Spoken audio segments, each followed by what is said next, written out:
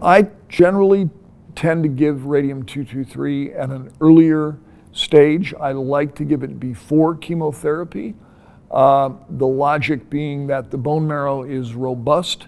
Uh, I have not uh, deployed uh, uh, palliative radiotherapy to the bone marrow, which of course will destroy the bone marrow wherever it is given. So ultimately, if we give multiple courses of palliative radiotherapy, the patients will become long-term anemic.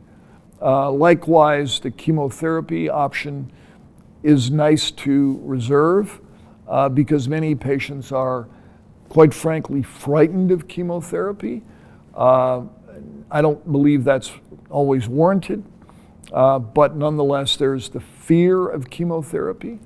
Um, and so it's a lot easier to tell a patient, well, we're going to start by giving you an immune treatment, in this case, uh, Sipuleucel-T, uh, and an IV uh, treatment with radium.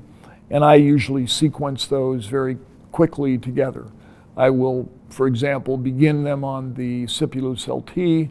At the same time, I'll begin prepping them for radium. Sipuleucel-T only takes five weeks.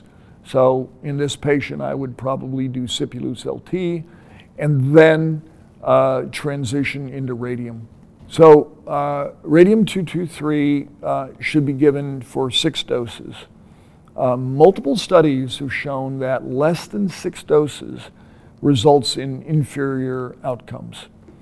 Uh, the study presented uh, by Dr. Sternberg last year at ASCO looked at a three different ways to give radium. One was to give higher doses still in six cycles. Another was to give longer duration, up to 12.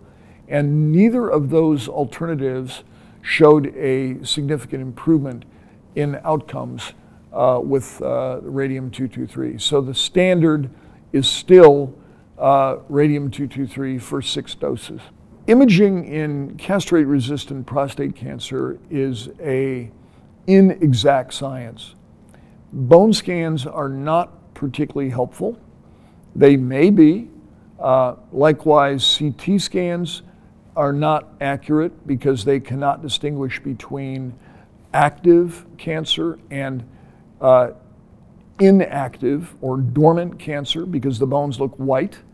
Uh, so you really can't use regular CT. You really can't use regular uh, technetium scanning. There is a role for a regular PET scan. The F18 PET scan can be very helpful, but they're not allowed by most insurance companies. Uh, and as I mentioned earlier, the uh, scan, the flucyclovine or Axumin scan can be very helpful to distinguish which bone metastases are active and which are not. And likewise, the PSMA scan can be very definitive. Um, so, for example, you may see a patient who has on his CAT scan multiple spots on the bone, and yet uh, when you do the PET scan with either Axumin or, uh, or uh, let's say uh, F18, uh, something like that, you may find that only one or two of the uh, bone lesions are active. The others either being inactive or eradicated by the hormone therapy. So it's somewhat unique to see that not all bone metastases seen on CT scan are um, active.